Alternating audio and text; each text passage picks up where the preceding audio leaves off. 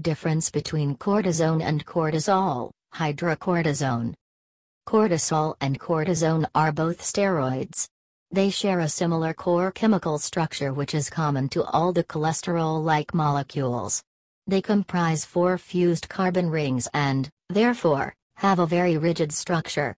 The difference between cortisol and cortisone lies in the difference of the functional groups present in the two molecules.